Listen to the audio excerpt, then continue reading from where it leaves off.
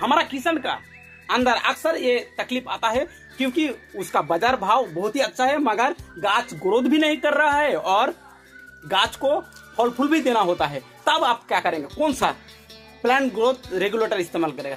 तब आपको इस्तेमाल करना होगा टॉनिक जो आता है टाटा रिलीज़ कंपनी का टाटा बहार इसमें आपका एमोनियो एसिड है और हर तरह का पोषक तत्व है, जिसमें आपका गाछ का जो वृद्धि विकास अच्छे से होता है और आपका फूल फल भी ज़्यादा आता है और आपको सही टाइम में मार्केट करने का अच्छा मौका मिल जाता है। इसलिए आप लोग इस्तेमाल करिए टाटा बाहर, आपका गाज भी तंदुरुस्त और फूल फल भी आपका खेतों में भरपूर। इसलिए चैनल को लाइक कर दो चैनल को सब्सक्राइब कर हेलो गाइस पेलेनो फिक्स आप लोग तो इस्तेमाल कर ही चुके हैं, मगर पेलेनो फिक्स को सटीक डोज में, सटीक मात्रा में कैसे इस्तेमाल करें, आज जान लेते हैं इसको। इसको ज़्यादातर ज़्यादा आपको शाम में स्प्रे करना है, खेतों में नमी बना के रखना। और दूसरी बात, आप लोग जो फल फूल झड़ने का जो स्थिति पैदा होता है और वो रोकने का नाम ही नहीं लेता है, वो आप लोग क्या करेगा, एक टेंकी, पंद्रह लीटर टेंकी में तीन एम डाल के शाम का वक्त छिड़काव कर देना है।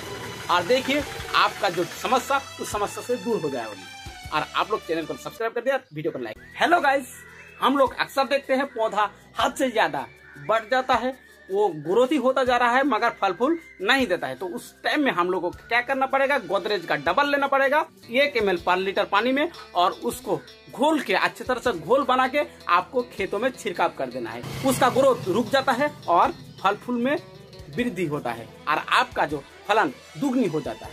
इसलिए आप गोदरेज का डबल को इस्तेमाल करो, और अपना घरों में खुशियाँ से भेज दो। जय हिंद, जय भारत।